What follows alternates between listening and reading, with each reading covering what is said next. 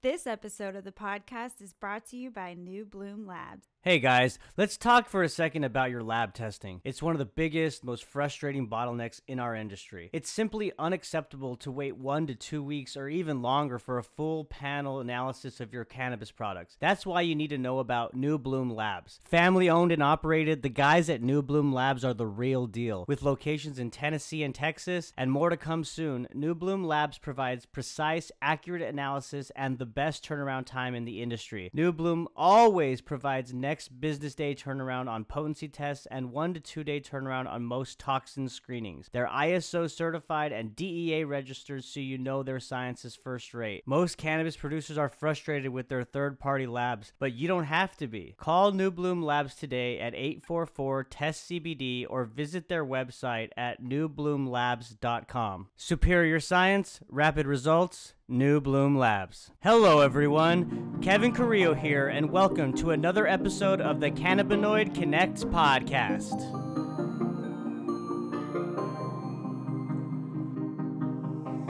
My guest today is Shelby Hartman, co founder and editor in chief at Double Blind.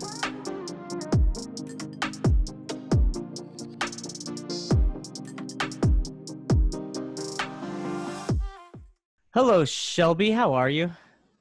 I'm good. How you doing? I'm good, thank you. Um, I was thinking before we started recording, it is a great time to be running a psychedelic digital media company. It is. It's a really exciting time for the psychedelic movement, and I'm grateful to be a part of it. Absolutely, yeah. And I want to I want to learn more about how you all got you got started and whatnot. But um, just to kind of set the stage for the audience listening, so I have Shelby Hartman on. She's the co-founder and editor in chief of Double Blind, uh, which is a biannual print magazine and digital media company at the forefront of the rapidly growing psychedelic movement.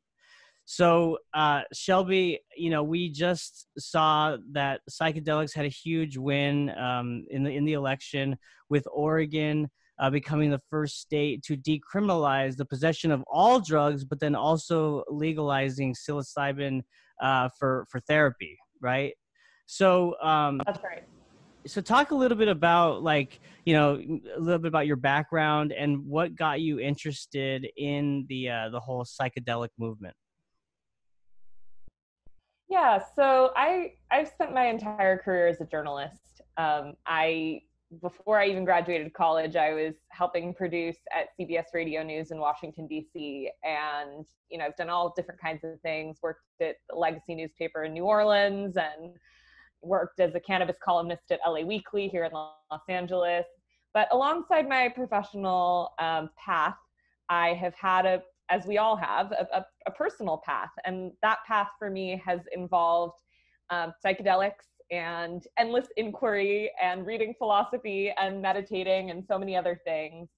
And at a certain point, um, my personal and professional paths merged. I was very lucky in that regard. Um, I was a freelancer and I pitched a story for Vice on MAPS's research investigating MDMA for post traumatic stress disorder. And as is often the case with journalists, one story became another story, became another story. And then all of a sudden, one day I woke up and I was like, I'm a psychedelic journalist. That's cool.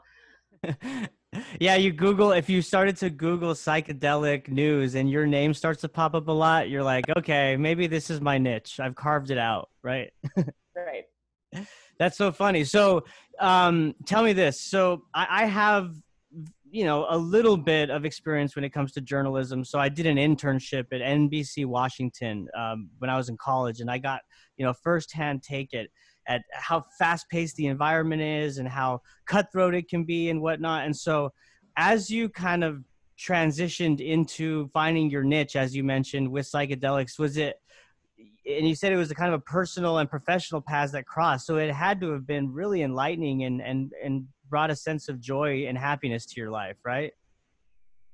Yeah, I would say so. I, you know, I was talking with a dear friend um, and journalist Michelle Lhooq last night about this, and I was asking her, would she ever want to work at like an LA Times or something covering City Hall or Associated Press or Reuters? And, you know, um, maybe I'm being a little too candid here, but I'll just say that when I was working in some of these more mainstream newsrooms, I didn't always feel like I could fully be who I am. Right. Um, I remember coming back from my first Burning Man when I was um, assistant producing at um, KNX 1070 News Radio, which is the sort of uh, CBS radio news affiliate here in Los Angeles. And I have nothing but positive things to say about the people in that newsroom and the work that they're doing. But I remember coming back and I was sort of in my like post Burning Man glow and I had my psychedelic, you know, like my fractal bell bottoms on because I was like, you know, walking into the newsroom and I just felt like this isn't my life. Like this isn't where I want to spend every single day, you know. And I feel so blessed that, you know, at Double Blind we're doing the kind of hard-hitting investigative reporting that I am so passionate about, but also we have a very psychedelic culture at the company and I'm dear friends with everyone who I work with and you know we take breaks in the middle of the day to meditate or to do you know um, sound bowl ceremonies because I have a Himalayan song bowls here in my house, and we jump on trampolines and we light incense. Like it's just these are my people. This is my world, and I feel so lucky that like it gets to be my professional world too. You know, and you know what? It's so funny you say that. Like um, your experience working in in big media, and then coming back from Burning Man, and you know having that glow still, and then kind of just having that that realization, like you know this isn't me i i, I want to be in another place. And, and in some ways the corporate environment can do that right? Like i mean i have experience working in uh, in, in, big corporate companies and there is a, a, certain way you need to act in a certain way eh, for some companies you need to dress and look and behave right? And i think what is unique about the psychedelic industry and also the cannabis industry is that they're they're both so new that we can kind of rewrite the culture in these industries you know? And just like you said implement practices where you're really um, doing what you want to do with your coworkers and making it a more fun and open environment than just being stifled right? Yeah absolutely. I i agree with that. I you know we spend so much of our lives at um, at our jobs and especially in in the united states there's a lot of emphasis placed on your value according to what you quote unquote do right? And um, I understand that not everyone is in a position to be able to, you know, work a job where they feel like fully embodied and fully expressed. And like that's a, a consequence of our economy and the system that we live in. And, you know, my like my heart and my love like goes to everyone who is working a job that they don't feel um, they can be themselves at. Right. Um, but I'll just say that, like at Double Blind, it was always really, really important to me to create an environment where people feel seen and people feel heard. And we really, really want everyone not just to be excited about the work they're doing at Double Blind, but to feel that it fits into the greater picture of where they're trying to go in their lives. Sure. No, and I, I agree. I mean, you do feel for the people that are kind of stuck in a dead end job that they're they don't like. But if you also look, you know, we live in a time now where possibilities are endless, right? And with the, the the pandemic, while of course there was a lot of bad things that happened, there was there was good that came out of it. And and one is kind of you kind of you know there's different opportunities that have arisen, right? One of which is the psychedelic uh, industry, cannabis is booming. Um, and so there's there's lots of opportunities for people to kind of maybe pivot and look to those industries as as alternatives, which is is good. It's a blessing. Um, so let's talk about this then. So I want to ask you. Um, I know that psychedelics are basically where cannabis was a decade ago, right? Um, so let's talk about first the research that's been done around psychedelics in terms of like post-traumatic stress disorders, as you mentioned, um, how it can help certain communities like the veterans and others, and, and what research has been done in this area. Yeah, so there's a lot of research that's being done in the realm of psychedelics. Actually, a lot more than has been done with whole plant cannabis. Um, for those of you who know about the the um, the cannabis monopoly at University of Mississippi and how that's affected cannabis research. But anyway, um, the two main substances that have shown the most promise um, for particular indications are MDMA, as you mentioned, for post-traumatic stress disorder, sometimes referred to as ecstasy. Um, and um, it's shown a lot of promise for post traumatic stress disorder, yes, in the veteran community as a novel treatment for people with treatment resistant post traumatic stress disorder. As we know, um, the VA is, is really in need of, of some, some new treatment modalities for our veterans. And also women who have suffered from sexual assault uh, com- people um, people of color who have suffered uh, race-based trauma, which is something that we wrote about in our inaugural issue. Um, MAPS it maps the Multidisciplinary Association for Psychedelic Studies, which is one of the largest psychedelic research nonprofits, is now in the final phase of research to get MDMA through the FDA approval process. Phase three, they've been granted something called breakthrough therapy stat or breakthrough status because their um, their and their treatment has shown so much promise for, um, for, for healing people that really have not been able to find um, healing using medications and treatments that are currently available. Yeah. Um, secondarily, um, psilocybin has shown a lot of promise um, for major depressive disorder and treatment resistant depression. Um, as you probably know, there's more than 100 million people around the world with treatment resistant depression, and there hasn't really been a significant class of drugs that have come out for mental health since the 80s when SSRIs hit the market. Um, SSRIs are not very effective and come with a lot of side effects. So, um, so this is very exciting. Psilocybin will also likely be on the market in the next five to 10 years for depression um, in coordination with uh, assisted psychotherapy. So you're not going to be able to just like take psilocybin or MDMA at home, but you're going to be taking these drugs in a clinical setting with therapists who are trained to sit there and support you through your entire experience. Sure, and it's so good. It's so great to hear that that, that we're looking to uh, other alternative um, medicines and therapies to deal with these these issues, right? Like depression, like uh, post traumatic stress disorder, and whatnot. And so, it's it surprises me how fast the psychedelic industry is moving in terms of uh, being um, given federal, you know, clearance and and consumer oversight and whatnot. So how how does the psychedelic industry, in terms of federal regulation, um, compare to cannabis? Because obviously cannabis is listed as a Schedule One. There's a lot of um, you know uh, inhibitors that that don't allow us to research the plant. So how is it that the psychedelics and specifically like psilocybin are able to do this?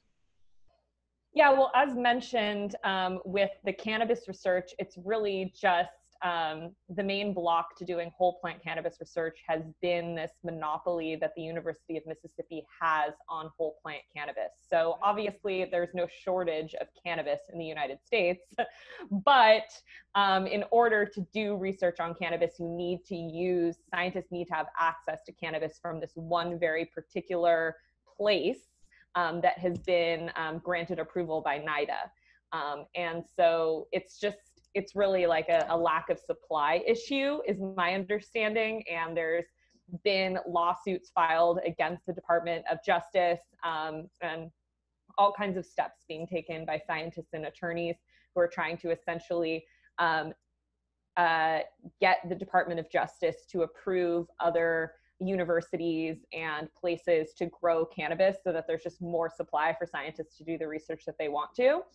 Um, so that's the issue with the cannabis. Um, with psychedelics, um, you know, it's been a, a long process um, of, of, you know, getting the necessary approvals to investigate these medicines. I mean, Rick Doblin founded the Multidisciplinary Association for Psychedelic Studies in 1986. You know, so he's been working on getting MDMA through the FDA approval process for, you know, two decades at this point. Um, am I doing my math right? Three decades? Three, de- yeah, three decades. three decades. Um, and then, of course, there's also um, the issue of the, the simple issue of capital. You know, doing FDA approved research is very, very expensive. Um, MAPS currently um, just raised $30 million for their phase three trials. Um, and, you know, it's, it's just, you got to raise a lot of money and you got to recruit subjects and you have to submit to certain um, standards of rigor right. according to the FDA. It just takes a long time.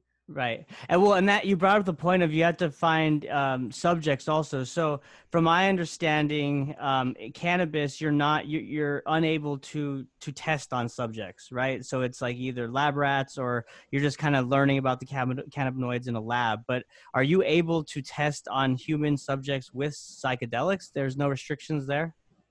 You are able to test on humans with whole plant cannabis. Um, as far as I'm aware, there is only one trial right now that is currently um, looking at the efficacy of whole plant cannabis in humans. It's a trial that's being conducted by Sue Sisley, um, and it's looking at cannabis for post traumatic stress disorder out of Arizona.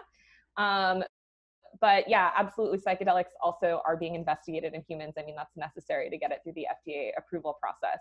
Um, I will say that um, so the way that that works is that uh, typically is that um, there has there's preclinical research right which is before humans looking at the promise of various compounds for various indications. Then there's usually a, a phase where the drug is studied in like healthy normals just for safety to make sure that the drug is safe. And then from there they start administering the drug to people who have particular conditions that they think that the drug ha- might show promise for.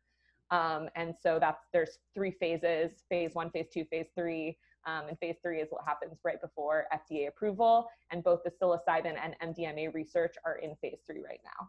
Got you. See, this is why we have experts on the show like you. See, you you are very knowledgeable on the subject, and uh, I continue to learn every day. So yes, thank you so much for that. Um, let's Shelby, let's talk about the corporatization of psychedelics. So obviously, um, there's a lot of players that are entering this space now. So um, talk a little bit about like your perspective, you know, co-founding and being the editor in chief of of uh, Double Blind, and what what y'all are working on in that area.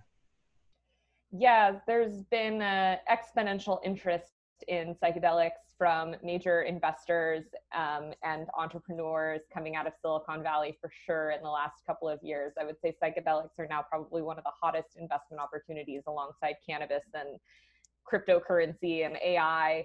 Um, it, it gives me the what what's the word I'm looking for? Heebie-jeebies? The heebie-jeebies. That was what I was thinking a little bit. Um, I think that there's definitely a lot of concern among longtime psychedelic advocates, researchers who have been working to overturn psychedelic prohibition for decades because they truly believe in the healing potential of these compounds. Um, there's concern uh, that you know new players, quote unquote, are coming in who don't necessarily have psychedelics, um, psychedelic healing um, as a priority and they really are kind of seeing the psychedelic industry as quote unquote the new green rush or someone recently told, told me that they're now calling people are now calling it the shroom zoom which is scary. Yeah. um i don't like and yeah no neither do i. And so um you know i wrote a story about this um, in the fourth issue of double blind which uh, came out this month called what comes after the plants. And it's looking at all of the psychedelic drug development companies that are now getting into the space in the hopes of getting novel psychedelic compounds and delivery systems through the FDA approval process. Most of those um, research companies are um, not researching in humans right now. They're in what we just discussed before is called preclinical research, um, looking at like animal studies and things like that. Um, but yeah, we'll we'll see. Yeah, and you're so you're saying that some some people outside of the psychedelic industry are coming in, and maybe their motives are not as as well intended as we think, right? And it's it could be possibly a money grab, like we saw in the cannabis industry uh, as it played out, right, since the early 2010s. Right, absolutely. And so um, there's a lot of conversations happening right now within the psychedelic space about how we can ensure that the most number of people possible have access to these access to these compounds for healing. Um, essentially, at the end of the day, it's just about access, right? Like there's a lot of people suffering in the United States and worldwide even more so now with covid we're seeing rates of depression trauma anxiety etc soar and we just don't want to find ourselves in a situation where only some people have access to these compounds um, and other people don't and so it you know it, the conversation does get complicated really quickly because it's you know it's great to have these ideals around access and equity but when we actually start thinking about how we're going to implement models that allow for enough capital to get psychedelics through the research process but also to keep prices low enough when they get to market that they're going to be accessible for large numbers of people it i mean it really we're live you know the, the way that the pharmaceutical process has been sort of designed from the outset doesn't it doesn't necessarily have access at its core. So the psychedelic industry is in a really interesting position to not only pioneer business models that will allow for access to psychedelics but to pioneer business models that could potentially be replicated by other pharmaceutical companies and even just companies outside of drug development Right. See, that's the the latter sounds better, right? To kind of be the pioneer in the space and to uh, set the, the the best practices and the best operating procedures in place then, so that people can mimic it. Right. Yeah. Well, ho- hey, here's to you know, fingers crossed into hoping that that that plays out. You know, um, but when you talk about psychedelics from a pharmaceutical perspective, this is where I get really, really fascinated by it. And I know that if we have um, listeners on that are, are new to psychedelics, let's talk a little bit about like just the basic science behind, uh, you know, say psilocybin, or even, you know, I've had a guest on that talked about ibogaine and and going to the uh, ibogaine clinics in Mexico and how it helps treat like even addiction for opioid. Uh, so, you know, talk a little bit about the science behind the medicinal benefits of psychedelics. Um, so there's different categories of psychedelics, quote unquote, like the classic psychedelics, LSD and psilocybin, have shown promise for a lot of the same conditions over the years through research. Um, and really, the only reason why we're seeing um, more research into psilocybin instead of LSD is because psilocybin lasts less time.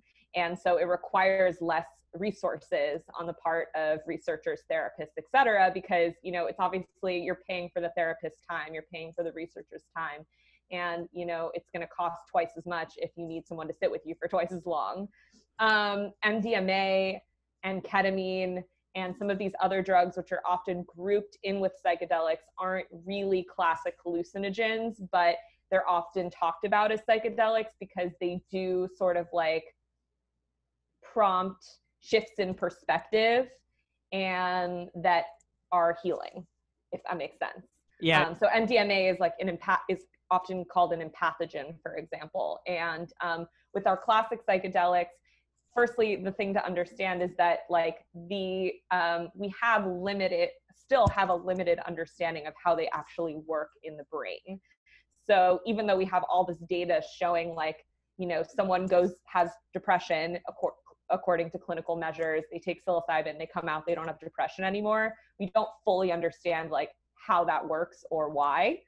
Um i mean i think that that sort of common um it's sorry to pause you but if you had a pie chart and you were to say how much we know about that like how much of the pie for like a zero to a hundred percent you know, truthfully, that's not a question for me. That's a question for like Robin Carhart Harris at Imperial College London or Bill Richards, someone who, I mean, you know, I'm a, jur- I'm a journalist and I understand the basics of how these things work, but I'm not a neuroscientist.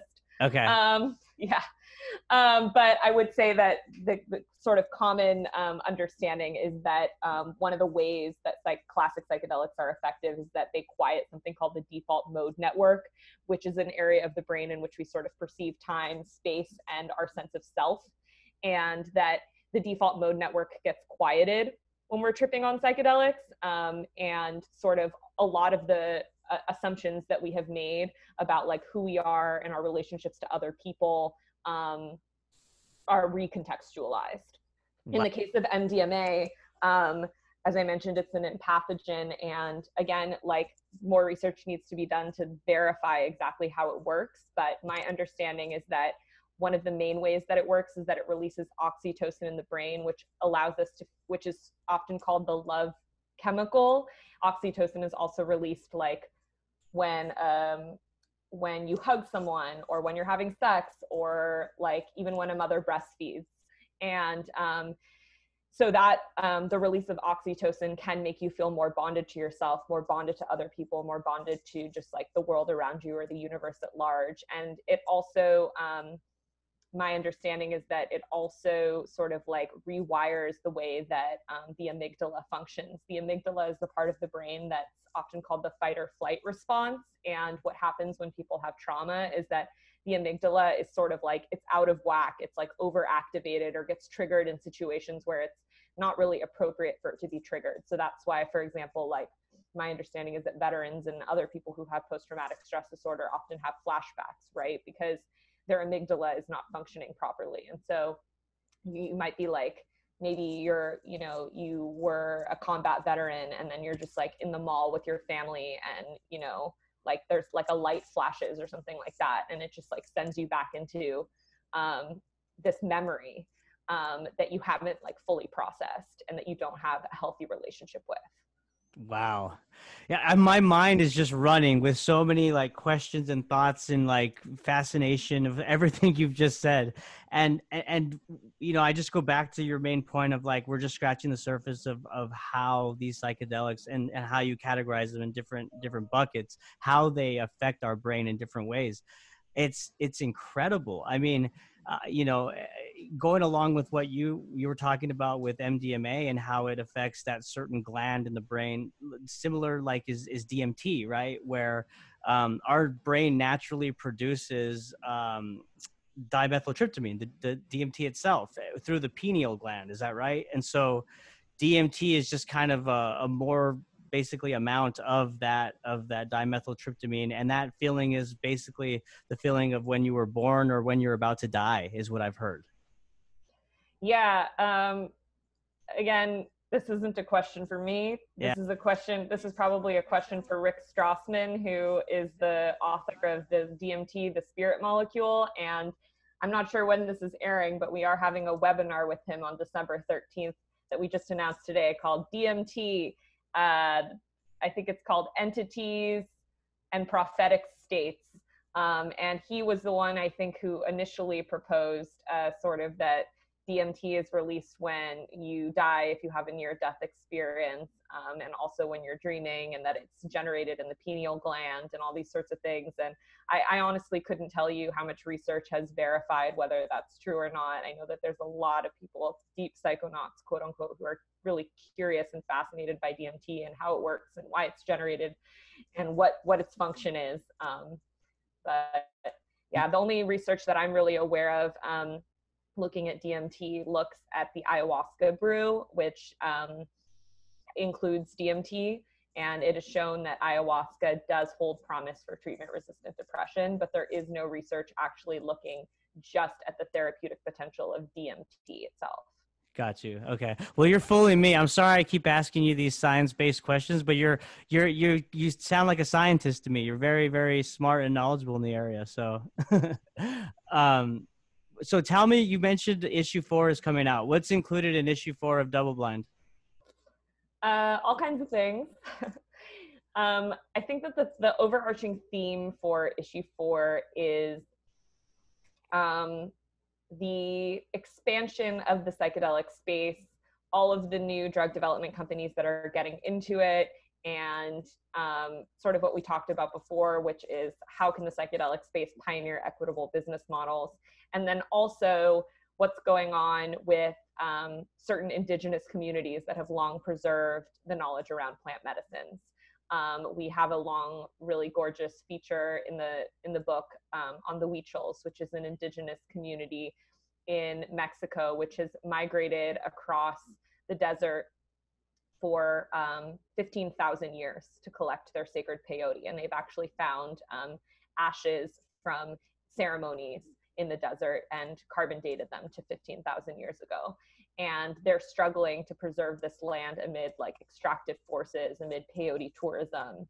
Um, and then we also have another feature looking at the Matsés, which is an indigenous community in the Amazon um, that uses uh, t- um, nene or hape as well as kambo um, and their struggles to sort of preserve their ancestral traditions. And I think that to us, like, that there was um, it was really important, particularly in this issue, but always to include a lot of stories featuring Indigenous voices and their um, and their struggles alongside all of the news about the psychedelic drug development because it's a really interesting and important juxtaposition. And you know the science we're all about reporting on the science. We're all about you know um, the, the therapeutic potential of psychedelics but we also don't want to neglect to talk about the ceremonial use of psychedelics and um, to uphold reverence for different contexts in which people have these experiences because we don't at double blind believe that like taking psychedelics in a clinical context with two therapists is necessarily better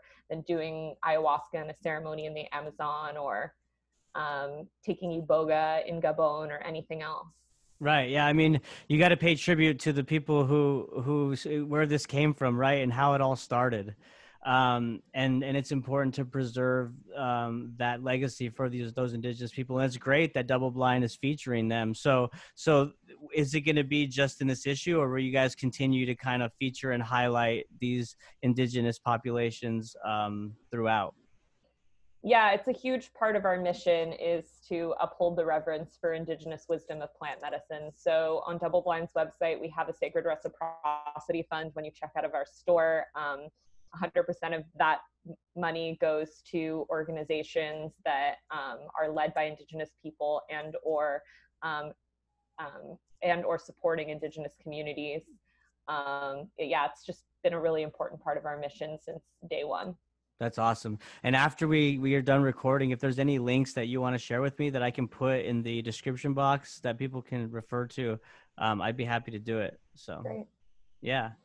Um, so you know, as this industry is just taking off at at a, a rapid rate, like when do you foresee you know the first uh, sh- you know psilocybin dispensary uh, in the United States? Um, that's a question that a lot of people are asking. It's also not a question that anyone has an answer to right now. Um, we did a story um, on psilocybin dispensaries in Canada, and I, you know, I actually need to do a little more digging into this because I haven't quite figured out why it is that Canadians seem to be so much ballsier about leaning into the psilocybin black market than Americans are, because psilocybin is also still a, a schedule or um, a scheduled substance on the federal level in Canada. But we are seeing a lot of quote mail order dispensaries. Um, these website they li- there are literally just like websites where anyone can go and just order psilocybin and it, it gets delivered to your doorstep. And I also know that Dana Larsen, who was a, a, a cannabis uh, pioneer, in Vancouver is interested in opening a brick and mortar. Um, but in the United States, we really haven't seen anything like that yet. Um, TBD whether um, all of the decriminalization initiatives that are sweeping the country, decriminalizing psychedelics at the local level, does allow for like quote unquote like gray market dispensaries or brick and mortars to pop up. But to me, it feels like pretty early to say right. that. Right. Yeah. I mean, I I spent some time in Amsterdam in 2015, and I went there at the time. There was five smart shops. Everybody's familiar with the the coffee shops, the smoke shops, but they actually had psilocybin smart shops where you walk in. There's a menu. You know, they ask you if you want the uh, the body high, which is a one, or you can go all the way to the the five, which is the face melters. you know, and uh, it was very normalized there you know? Um, so have you ever had that kind of experience where you'd walk in and, and done that in, in any other country? Yeah i mean I, have been to amsterdam and i also bought truffles when i was there. Um, what's going on in the netherlands is really interesting. The netherlands has a booming psilocybin retreat center scene where folks can go and actually have supported psilocybin experiences. We've partnered with Synthesis, which is a psilocybin retreat center that um, does ceremonies and is working with Roz Watts, who is one of the leading researchers at a psychedelic researchers at Imperial College London, alongside Robin Carhart Harris. And so they really are ad- administering psilocybin that it, in a way that's like informed by research and informed by science. Um, as a way to provide people with therapeutic psilocybin experiences prior to being able to access psilocybin like through the FDA or legally through Canada or whatever. Um, so, uh, but in these retreat centers, they're administering um, truffles. They're not administering like psilocybin. Um, the only difference really being from what we know empirically is that truffles are less potent, so you just need more of them.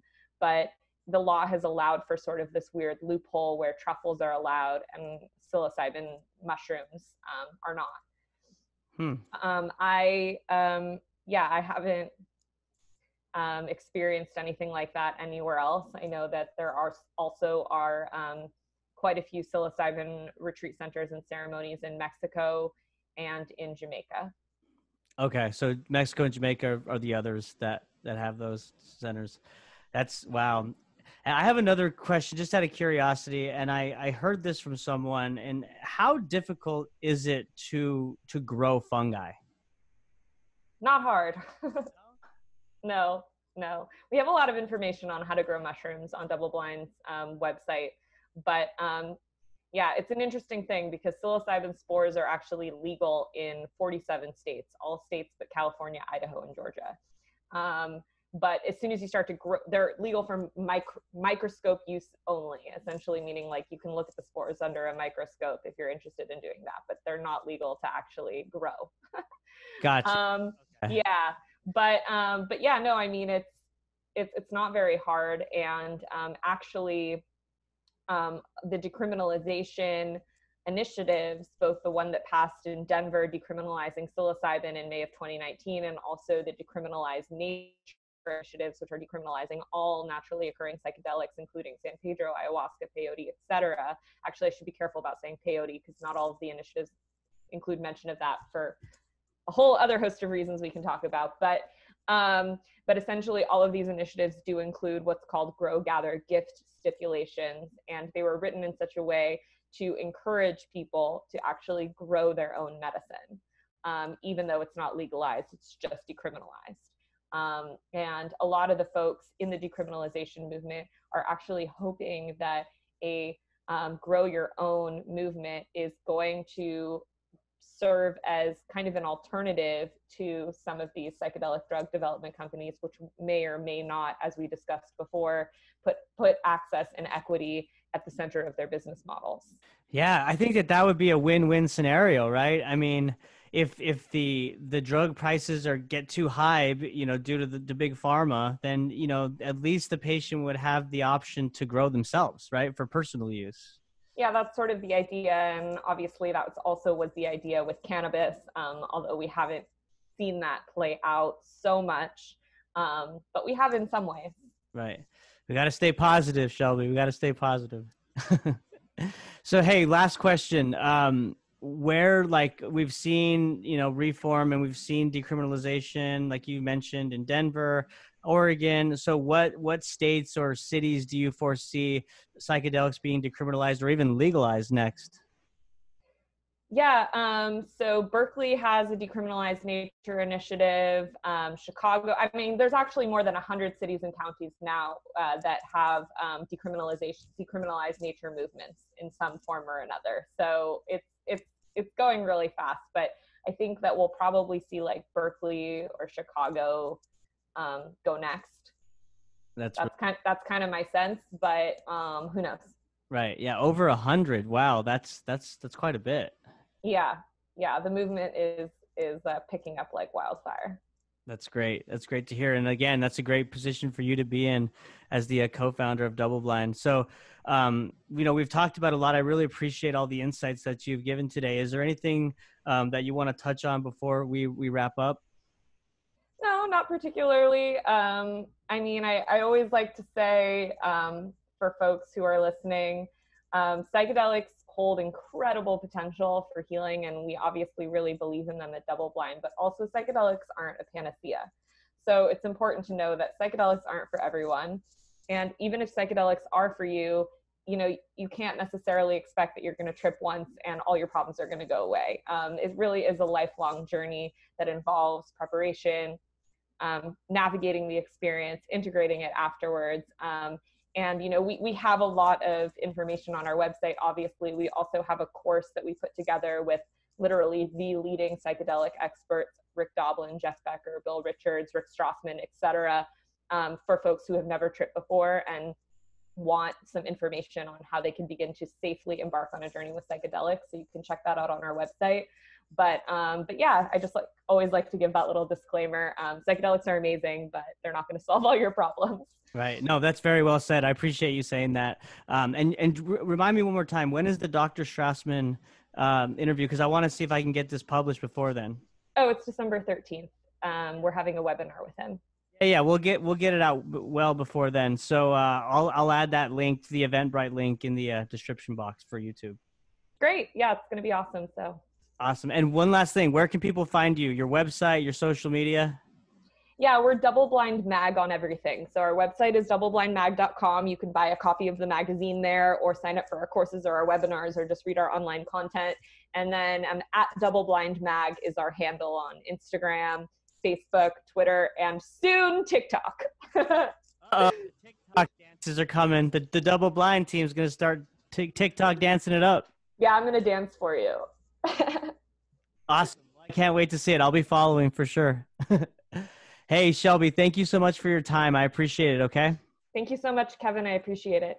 Yes. And thank you all for listening. Bye. Bye.